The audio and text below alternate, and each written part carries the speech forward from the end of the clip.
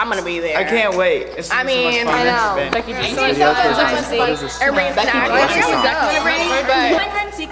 I mean, I talked to Jay about not trying again last year. It was like a really problem because I mean, people made a lot of big messes. Oh yeah. It was like a big deal. I mean, I don't make messes, but people make messes all the time. Wait, what. Um, don't be that guy. Stay quiet in the library and be courteous to others around you.